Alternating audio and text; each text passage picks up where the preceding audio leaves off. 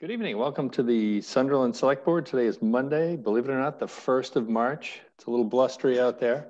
I want to strap things down. um, we've got a, a, somewhat lighter agenda tonight. we've got our minutes, uh, we got some appointment of public weighers, and then we've got our um, updates for um, some budget discussions and our COVID update, which I think will be a little better than last week. And our, um, and then we've got some updates on uh, the vaccination site and our select board and town administrator updates. So when we get things rolling with our minutes from February 22nd. Motion. All right, we have a second? A second. All right, all those in favor? Aye. Aye. All right. and next up, we have an appointment, uh, a slate of appointments for Delta Sand and Gravel Public Weighers. And we're, we're just, we're, we've got other personal information on there, so we're not displaying the names on the screen, but do we have a motion for the um, slate as presented? Motion for the slate as presented for public weighers. All right, do we have a? I'll, I'll second. All right. All those in favor of the uh, slate? Aye. Aye. Aye. All right. I don't know if um I didn't know didn't see Lori on yet. I don't know if she's on now for our COVID update. Um, and if not, we can we can talk um, about some other stuff, Jeff. I know we have three cases, right? Yeah, Lori's here.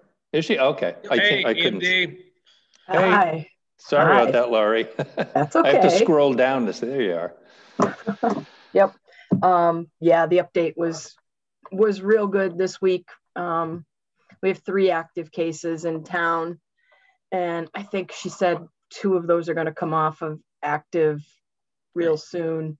Oh, good. Um, so we'll just have one, and and I think she said that one actually went to his parents' house to self isolate. Okay. And they were all UMass related, right? I think, weren't they? They were all UMass related, yes. Okay. Yeah. So that's going to bring our two week number down to around seven, I believe. Ooh, great. Well, we're So- headed in the right direction finally. So, I'll say. I mean, that, that's, you know, like they say, you got to stay vigilant and keep up the, all the precautions because and get people vaccinated. Definitely. Everybody's trying. I know that. So, yeah, it's it's hard to get an appointment, yeah, no. Yep. Oh, that's good. but I think with the new Johnson and Johnson vaccine coming out next week, that'll make it a lot easier. Yeah, that'll get a lot more in. And I think that one has got much uh, easier storage uh, requirements and then just one vaccine, right? I think Just for that one, yes, one dose. Yeah, and I thought I heard that it's pretty effective against the variants so far, anyway, too. So that's yes, good. so far, Keep Yep. our fingers crossed. definitely. Can Yeah. ask a question, Mr. Chair? Yeah. So with the rollout of the vaccination uh, locations, are we losing any testing sites locally? Uh, that's a good question. Nationally, it's become an issue. I'm just curious. Because they I roll believe over. UMass is still testing, but they're Yeah. testing. I think they went to symptomatic testing instead of asymptomatic testing. Okay. No, we're still Hmm. doing, uh, They're still doing both. yeah. there- there's- Okay, good. Is that what? I got my thing scheduled for tomorrow morning, so. Okay, Okay. thank you for the clarification. Is that at the Mullins Center, Tom, still, or? Mount Mullins Center, Davey, yep. Okay, all right, just so folks know too, because. Well, to, if, if, if some, if anyone's interested to, to get a COVID test at UMass, you just make an appointment Make an appointment. Yeah. online and, uh, you just walk in and it's, it's, I would recommend either, I would recommend early, the first thing in the morning. That seems to be the best time to go. Yeah, let's get it out of the way early. Well, s- the, after, after ten o'clock, the students wake up, so. That's right. And then they all start going down. Oh, all right. Any other updates on your end, Laurie? No, No? Okay. All right, good. Good update. Nice short These one been this good week. weeks, EMD. I know, that's we like it. We like it a lot. All right, we'll keep, keep, uh, keep on heading in that direction, hopefully.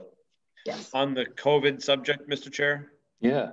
Uh, have the Board of Health uh, reached out to its businesses that may have been affected by the original hold on ex expanding their services? That was two weeks ago.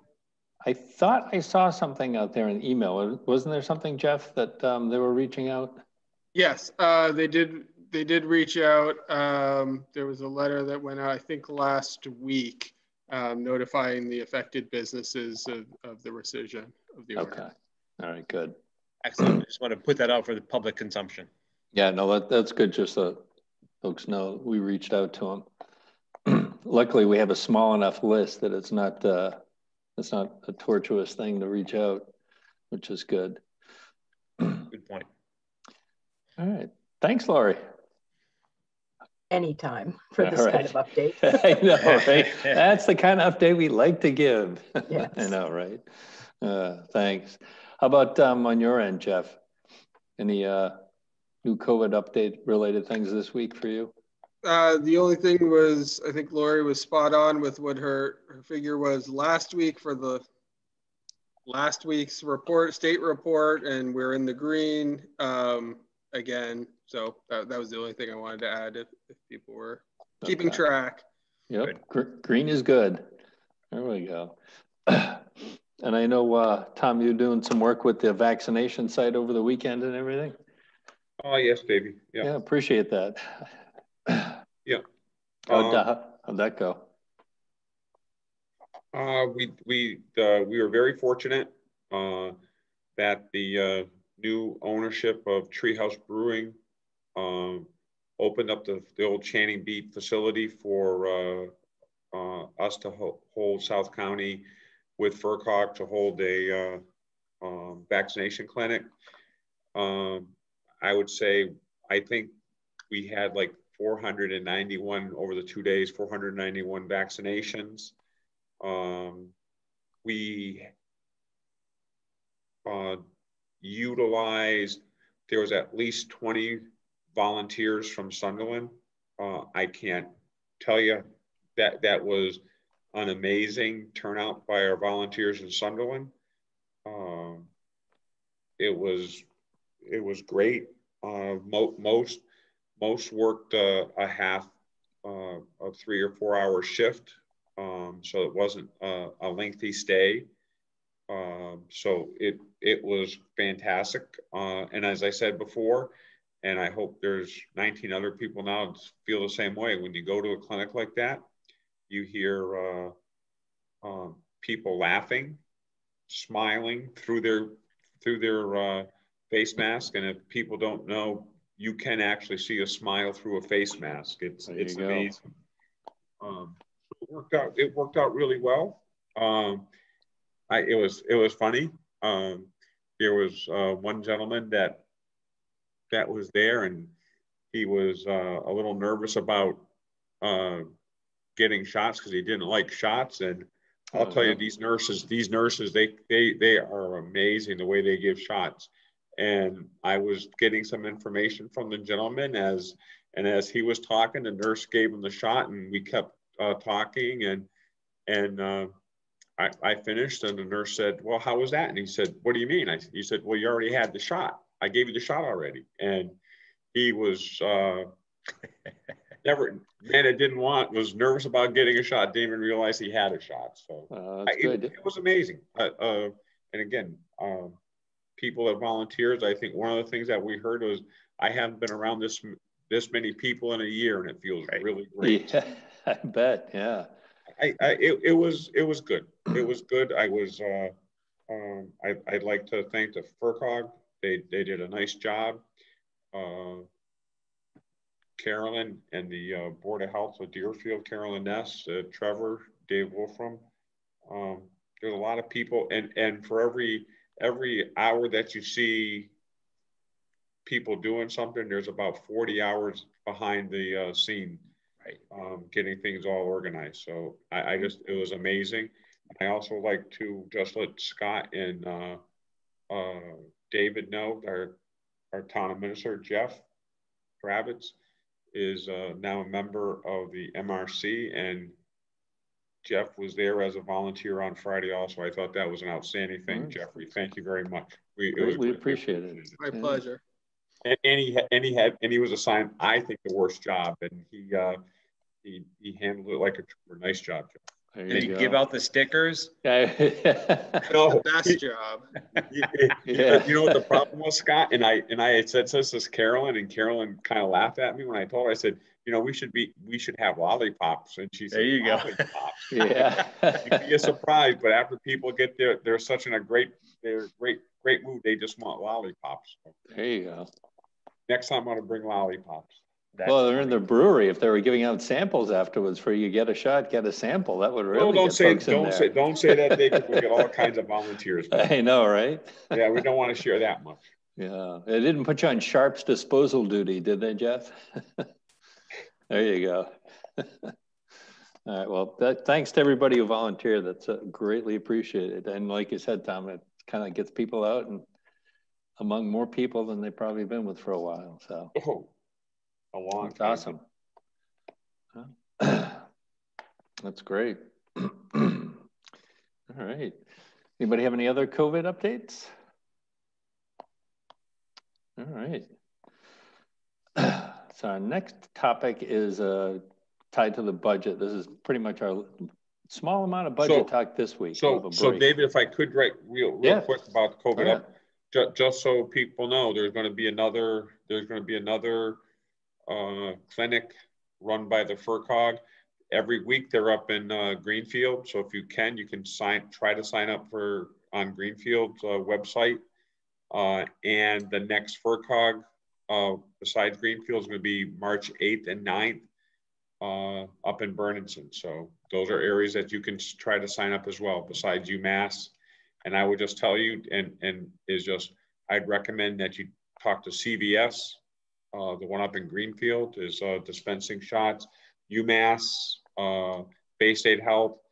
Uh, if you haven't, if you haven't been able to make an appointment yet, keep calling. And, and if worse comes to worse, you call the uh, South County Senior Center and ask them to put you on the uh, the waiting list. Because next time we have the uh, distribution, we do have a wait list, and we started we started going through that wait list the uh, the other day. So Oh, that's great.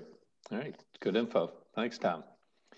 All right, so we've got our discussion of potential borrowing authorization for capital expenses that we talked about last time around. And uh, probably a couple other budget-related things. So, Mr. Chair, if I could, Yeah, until until we have a, a solid, and this is a segue, a solid sense as to our available revenues for the operating budget.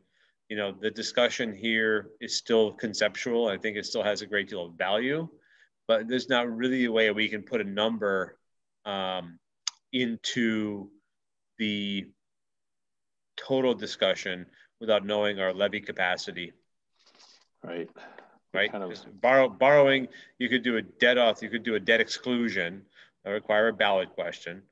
Um, and that may be a path forward in the near future uh, for a special, possibly. But we really, my feeling is that the, the need, the tension between the need to continue funding the capital work at the level that's re- that it that it's consuming, right? Yep. um, we have to find the mechanism to pay for it on that scale. So until we have a census to the revenue numbers for the current budget year, I don't see how we can go forward without asking the treasurer collector to, you know, go out and look for, for bonding. Jeff's already done that budgeting element of it as well. So Right. And I want to keep I'd, I'd like to keep it on the forefront of the discussion but you know adding adding a value uh, to the tax base uh, when after last week's presentation from our, our education uh, frontier and sunderland elementary you know that that could take all the oxygen out of all the revenues and still leave us short Yes, yep. And I know we haven't got final numbers, but there was enough knowledge there to Right. put us on, on warning in that respect. So, on that subject if i could one more piece yeah, last week when we were in that discussion, I was working off of an um, that I was working off a spreadsheet that was not the final version, and I misstated the Sunderland Elementary ask last year. So I want to I clarify that so that my number, the 135,000, was indeed off. And uh, I, I reached out to Peter uh, over the course of the week and uh, clarified that with him on uh, electronically. But I think it's important to bear in mind that that said, 2019 2020 budget cycle, the town passed a $200,000 override straight to education. And the number that we're having here uh, is right within the context of, right within the framework of what I had said last week. We can't have half a million, 600 to $600,000 over the course of uh, every three years and still expect to fund the other elements of the town without some measure of override. Right. There's Not only so much. Math so much- doesn't work. That's right. And we've, we've been there before, so we, Right. we know So with that's like. respect to the capital piece, you know, the, if you look at even, even the Roy Brown study and you look at what the capital planning committee sees on an any given year basis, not necessarily rolling equipment. We, Yeah. we take rolling equipment at, you know, five-year notes and, and buy it down. That's pretty straightforward. Uh, but if you look at these other tasks, you look at the building survey, uh, the rim board replacement program at the elementary school over a three-year period or a four-year period. You look at the repointing that we're proposing for the Graves Memorial Library this year. You look at, the- Sir, let's walk through the numbers and show what she's talking. Well, could Uh, somebody make mute there, please? Thanks. sorry, that was me going off a little too loudly. Yeah. Um, so if you if you look at the HVAC requests uh, for um automation uh, upgrade at the public safety complex, you look at the annual pieces and soon to be the 20 year old new library, Right. uh, looking at how their HVAC failure rate is managed. They've managed it well over the life cycle of that equipment. There may be some wholesale work that comes on in that system. Those aspects are really, really important. We've been biting them off since the Roy Brown report was put forward. Uh, you know, less than $100,000 at a time. $15,000 project here, $18,000 project there. Uh, what is it, Jeff? 55 for repointing at Graves this year. That's closer to 70. closer to 70. 70 through CPA money. So again, we got some historical work, but that was called out, and that's only one to keep the building, uh, keeping the water out of it. Right. All, that's all we're doing is keeping the water out of it. So as you look at the big numbers over a decade long borrowing, and maybe uh, a decade is is short, I'm not sure. Uh, that's where the treasurer collector and uh, the discussion with the townspeople about what a 10 year plan for building looks like, building maintenance looks like. Uh, and we borrow now and pay incrementally. Yeah. Is that, you're right. I mean, that, as, as great as it is that we got that override pass for the, for some capital, it's, it's only a small percentage of what's actually, you know, needed based on, just to keep the buildings from crumbling into disrepair. right? And I think there's an important dialogue to be had in there, not to go off too far in the capital discussion. You know, our rolling stock is replaced pretty, our rolling stock isn't that old, right? Our rolling stock we take care of. But even that takes the oxygen out of the capital plan. You know, uh, a $300,000, and I'm, I'm making a number up here, but $300,000 fully outfitted twin axle that's on the on the capital budget for two years from now takes all the oxygen out. Yeah. You didn't you didn't fix any windows, right? There's three hundred and fifty thousand dollars worth of windows in the south side of the elementary school that are original equipment. Yeah. And then to say nothing of the issues that we've had with the, um, I'll just say the legacy of the safety complex and the Correct. issues we've had there. Yep. Yeah. Poor de- poor design, poor construction. We keep fixing it. Yep. Pretty it- simple. It was one of those penny wise, pound foolish things in the, in, Right. in the long run. Yep. So those I'd like to I'd like to bring the conversation, keep the conversation at the forefront so that the public is aware that this is a need and it's a strategic step in securing your operating budget expenses. Yep. Right? The reason we've broken this out for the last decade plus is that it gives relief to the use of free cash. It gives relief to the need for uh, short-term borrowing or uh, one-time funding mechanisms. It's a programmatic approach, and I think that has the most important aspect of the discussion. That is the most important aspect of the discussion. I would agree. Excuse me. And with capital, you know, you really have to be looking at like five, ten, and even longer or term more plans. Correct. Exactly. Right. Because yep. it's a long term strategic thing. Right. So anyway, until we yeah. can get our revenues, our revenue kind of piece, we we would not know where part A and part B fit at this point. Right. But I don't want to lose momentum in the dialogue. No, that's true. You're right. So we'll give everybody a bit of a break from the massive budget discussions this week. oh, we'll we be back. certainly go there. that's right. But keep in mind, we'll be back next week. Right. I'm sure. So, no, on, on that season. subject, if I could, Mr. Chair. Yeah. Um, in in the discussion with uh, Peter about the in the presentation last year, oh, excuse me, jeez, I wish it was last year. Yeah. Last week, uh, about how quote it's Sunderland's turn this year that our DESEC formula, yep, you know, got got uh, our in, this is happens to be our year of our increase, which I, I always find irritating. Uh, Peter had mentioned, and, and it was simply in passing in his in his in his um, in his correspondence.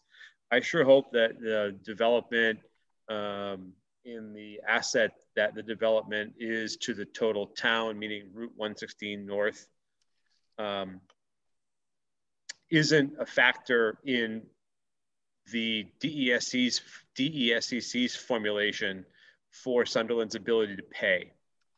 Yep. And so the percentage of our ability to pay uh, moves formulaically through the state without any help, without any input, or without any discussion uh, by the town toward funding the regional school budget. And I've asked Jeff to reach out to DLS about this okay. and see if that's if, if that's part of the mix. Yeah, that would be good to know. That'd be an interesting aspect of it. Especially given the lack of control we have over that portion.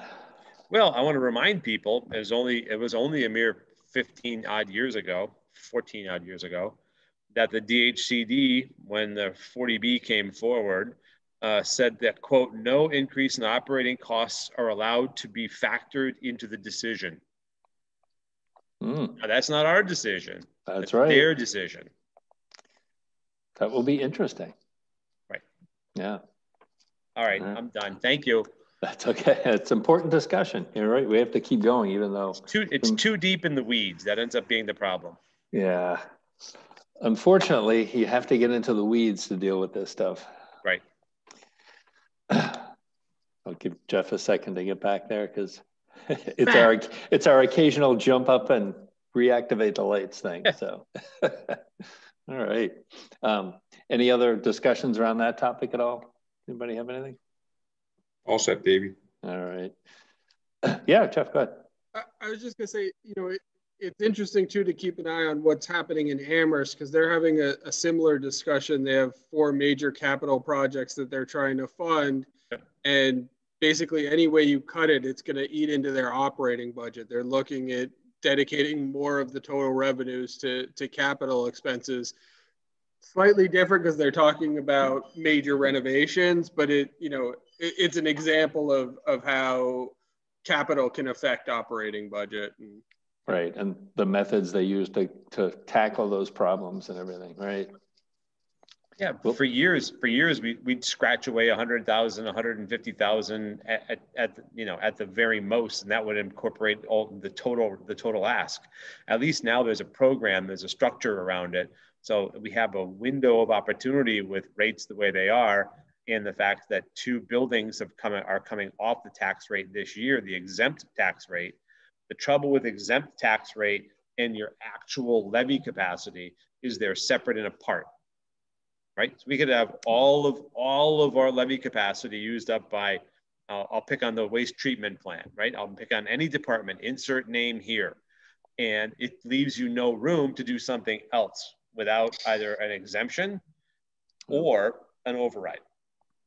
And with capital, I'm, I'm, I'm personally of the mindset the capital should be by exemption uh, or inside of the uh, levy capacity. It should not be an override specific because it's a, it's program. You should be able to run run that debt down. That if that asset as life is extended, and the impact on the tax rate should be stable. It shouldn't be cyclical. Right, because otherwise you'd be all it just cause all sorts of havoc with the budget, you know, with, with that. Yep. That's right. That was an excellent point. well, there'll be stay tuned, folks. There'll be a lot more to discuss on the budget topic. So, and I know um, we've got some upcoming. There'll be upcoming actual budget hearings for Frontier and uh, the elementary school. So sixth, right? I think so. Yeah. Um, actually, P- Peter's ninth. on. Is it the ninth? I think so. Yes, it is, okay. Dave. Okay. All right. So folks maybe want to stay tuned, maybe even actually go to those. So we'll be good oh, on Zoom anyway. All right. Um, and then we've got our select board update section of the evening tonight. I'll just kind of work my way down. How about uh, I'll see Tom first tonight. So all set, Dave. All set. Scott? I'm all set. Thank you. Okay. And I'm actually, I'm all set tonight too. So um, so with that, we'll turn it over to Jeff. All right. Fresh so, off the uh, volunteer. And I'll just, I'll start by echoing what Tom said. It was really uh, fulfilling to do to do that work and see how happy people were, and and it was nice to see people in general. Yeah, um, that's good. Which was great. So I encourage anybody else to to volunteer and sign up for the Medical Reserve Corps. It's really easy. Two hours of training. Um, you get a nice card. Um, a couple updates. I don't think I had any last week, so uh, a few. One, um, the closing for 120 North Main Street was scheduled for today. Uh, I was getting emails back and forth after five o'clock, um, so I'm assuming that it didn't actually happen today, but they're still planning on doing it this week. Okay. Um, so I will certainly let you know as soon as everything's been fully executed and, and transferred. Oh, great, um, thanks. I filed our first quarterly report for our park grant. Um, we are hopefully uh, contracting with a designer for the restrooms and then moving into sort of the design and, and permitting phase for everything. We expect to get some uh, drawings for the walkway down the um, boat ramp this week as well. So I'll, I'll pass those along. Great. Um, we just got the contract for the non-participating work for North Main Street, um, which just to remind people who may be watching, uh, due to budget reasons, MassDOT said you have to reduce the scope. So there was some paving on the north end of North Main and then a storm drain replacement um, from Warner Drive to School Street that had to be cut from the MassDOT project um, that we thought was really important. And so the town is paying for that, that work um, out of Chapter 90 funds um, for this year. And, and it's going to be done by the same contractor. So it's all part of the project. So we don't need to worry about the coordination of That's that. Um, and speaking of School Street, I'm also working. I know we have the the designs for School Street. Uh, the state launched a new one-stop grant application uh, pro uh, website, I guess, web page, um, and they're taking expressions of interest. And so I was gonna wanted to certainly talk to you guys about your ideas, but some of the pro basically it's what do you want to do in town. Um, it includes so it includes MassWorks, um, infrastructure funding, some planning grants. So I was thinking about School Street and um, also the Village Center visioning that, that the Village Center Committee has been talking about. But if you have other ideas, I think you can, you know, it's an expression of interest. So you can throw the, the kitchen sink in there um, as far as projects. And then when we, actually get down to the application, we can narrow it. So if there are other suggestions, um, please so don't hesitate Jeff, those, those uh, that you mentioned are spot on. We've got some preliminary design work already on School Street. I would, if it's if it's that kind of you know one-stop shop for grant rounds under Public Works, I would um, I would uh, suggest looking at uh, uh, walkability of Plumtree. Yes. I agree. Yep. That would be great. Is that something we've discussed a you, number of times? If you really wanted to swing for the fence under that walkability of Plumtree, you could also take the Tighe and Bond uh, study for the waste treatment system expansion. Yep, the extension. Okay. Is, you know, the best thing to do is to pave a big, beautiful section of road or add sidewalks, and then in the following year, come back and dig it all up. Yeah, exactly. That's what we do in Massachusetts, Scott. Exactly Come on. right. Right. Yeah. Pave it, pave it, wait two weeks and rip it up again. Exactly right. Yep. That's great. Um, yeah, and I, my understanding from the state is that they wanted us to, to say everything we're thinking of, and they'll help us with narrowing it down to what they think we, we would actually have potential to be funded for. Sure. So, Well, that integration from Silver through South Silver through Plumtree, all that walkability is, it's been a, a slow simmer for over a decade. Decades.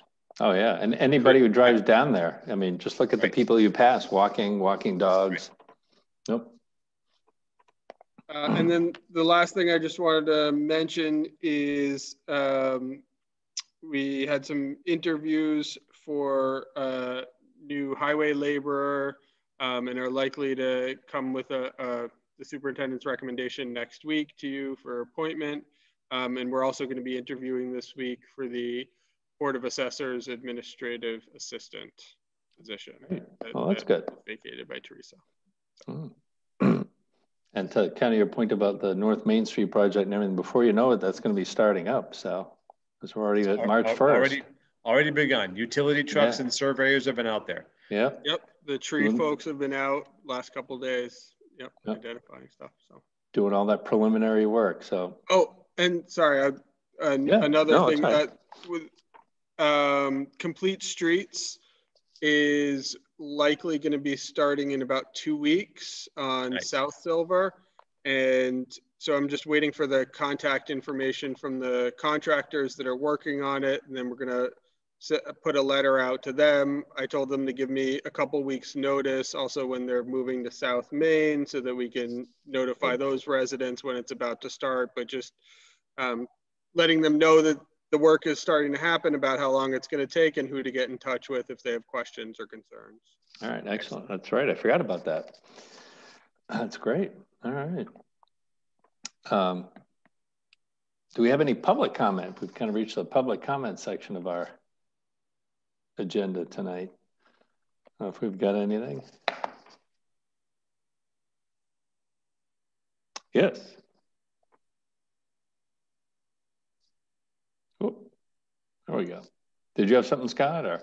I was just going to remind people that the caucus last Saturday was canceled That's and right. that it's this Boom. I forgot about that. Postponed. Sorry, not not Yep. canceled. Right, postponed. Rescheduled, yep. Rescheduled to this Saturday, same location, same time. So people who are interested in both participating and or running for office, you know, please come down to the town office building, 10 a.m. Keep our fingers crossed for better weather this weekend. It's March. You never know. Yeah, that's right.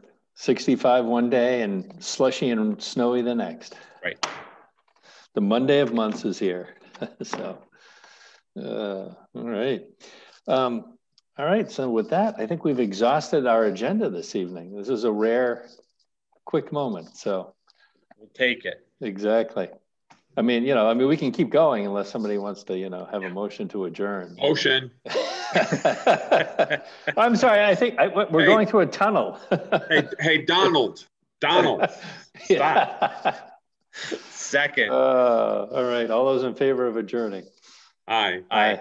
All right. And our next meeting will be next week at the same time, the 8th of March. Thanks for Thank you, uh, everyone. joining, folks. We'll see you next week.